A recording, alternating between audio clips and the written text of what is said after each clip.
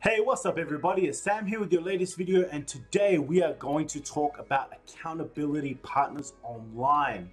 I've had a number of accountability partners online and they've helped me achieve a number of things, but here's the thing. On the flip side of that is that a number of them have dragged me down and held me back to a degree. So I wanna help you uh, achieve what it is that you really wanna achieve by helping you find the right accountability partner online. So here's the thing, watch to the end of this video or go ahead to the description below where you're going to find the downloadable guide on how to pick the right partner and how to establish the right partnership from the beginning to the end for the success of your partnership. Okay, so what is an accountability partner online? Very, very simple.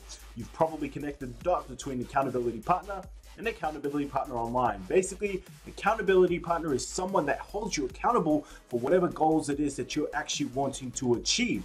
Now, somebody, online is very, very obvious because we don't necessarily have time, especially in this world, in this day and age where everybody has to work crazy hours in order to, you know, just get by. So finding the right accountability partner can be absolutely key to your success because it will motivate you in ways that you don't even think are possible. So the finding someone online is it can be an easy process, but I encourage you to download the guide in the description so that you know exactly step by step how to go about looking for one. Now, I have had accountability partners online going back probably seven or eight years now, right? And some of them have really boosted me to achieve some things that I never thought I would achieve. They really encouraged me in times of difficulties. And in times where I thought I wouldn't stick with it, I did it anyways because of my accountability partners, right? But on the flip side is that I've had people that have really demotivated me and sucked my energy away, which is why it's so important to establish the right relationship and to build it properly from the very, very beginning. Okay, so I'm gonna give you some tips in this video. So being a good accountability partner really comes down to two things, okay?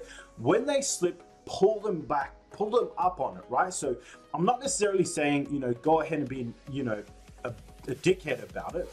What I'm saying is go about and get them back on track saying, hey, how come you didn't get your, your you know, your first third workout in this week? You said you would, you didn't pull them up on it, okay? Because it's gonna let them know that you you mean serious business and that you want them to to succeed as well, right? You need to show them that you actually care, that you give a damn, because their success is also important to your success. And if you're gonna commit time in communicating that you've achieved certain things for the week or for the month, however you're choosing to do this, but I highly encourage weekly, then you need to pull them up when they don't actually do it and don't accept excuses, right? Get them, get them motivated, get them focused on what it is that they need to get done and ensure that they actually do, okay? So tip number two to being a good accountability partner online.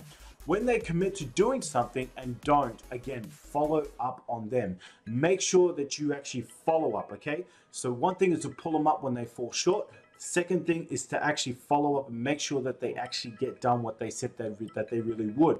So the next topic is how to how to find an accountability partner online. So this isn't necessarily the easiest thing to do because there are people all over the world and so many different processes and procedures in place that can really kind of get in the way. The biggest down thing for majority of people is not having enough time to be able to achieve what it is that they really want to achieve. And this is where an accountability partner can really help pull you up. They can go, hey, look, that's bullshit. You said that you would get that workout in. You said you don't have an hour, but I see you posting that, you know, you watched you know, three movies tonight. You know, that's five hours you could have gotten the workout in.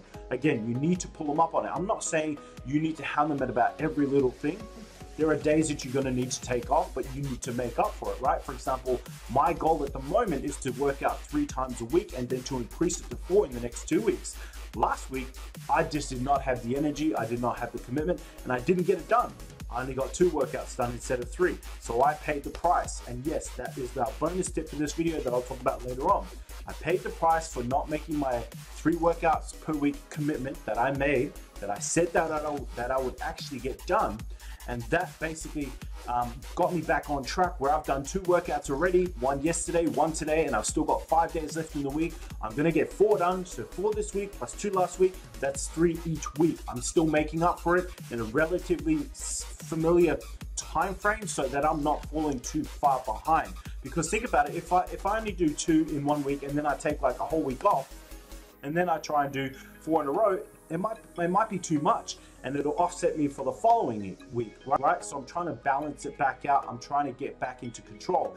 This is a good um, pivot week for me as well because I said I wanted to up it until you know up until four in the next sort of two to three weeks. But hey, if I can show that I can do it this week, I'm just gonna up it from here on out. Yeah, two weeks earlier, but I'm back on track. So this is an opportunity for me to grow and to be better at what it is that I'm actually trying to achieve. So when it comes to picking an accountability partner, I don't want to go through it here because it can be quite a process. I have learned a lot over the last seven, eight years in terms of people to look for and people to avoid, right? And I'm gonna show you each and every step. There are five steps that I think you should really follow to find the right accountability partner online. And there are five steps that you need to take to really establish a partnership for success. So picking your accountability partner online is highly, highly important to you achieving what it is that you want to achieve. So here's our bonus tip for this video, right? Put some money on it, right? Not everyone is monetarily driven. I certainly am not. But if I if I know that hey, if I don't get this one workout in, I'm going to lose ten dollars, right? I'm going to give that ten dollars away, which is one of the keys to keeping you accountable. And trust me, it's not about the money. It's about you being accountable. You'll start getting pissed off, and the fact that you're losing something whilst not keeping a commitment to you that's going to help you improve your life. It doesn't matter if it's health if it's business, if it's um, fitness, right? If it's your relationship, if it's time with your kids, whatever it is that you're committing to doing, put some money on it. Say, for example, $10 per week. Um, so the, the example that I'll give you is mine that I'm doing right now. If I don't get those three workouts in per week, each workout that I miss for that week is $10. So if I miss an entire week, if I take a whole week off, if I'm just being a straight up lazy ass, I have to pay $30, right? And I give it to my mother and she gets the money. She's happy, of course, you know, kind of sweet. It's a sweet and sour, sour sort of thing. She wants me to work out. She wants me to be healthy, but I'm happy to give her that $30, you know, because it helps her out a little bit, right? But it's again, it's not about the money. I could give a fuck less about $30, right? That's nothing.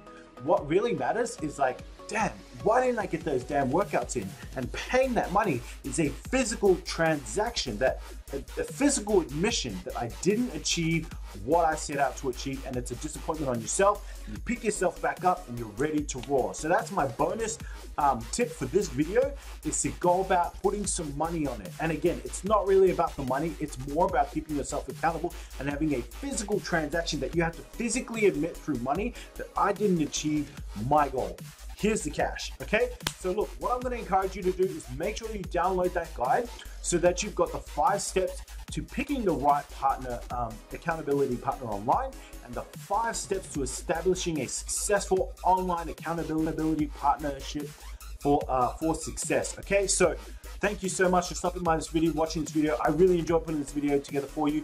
If you did, then please go ahead and comment any questions you have below. So here's my question for you before you go. Do you have an accountability partner? If not, if you uh, if you don't, which of these steps that you're going to take that, that you're actually that you're actually going to apply to your life to better yourself and where it is that you and help you achieve the goals that you really truly want to achieve. So thank you so much for stopping by and watching this video. Take care, much love, and I'll see you in the next one.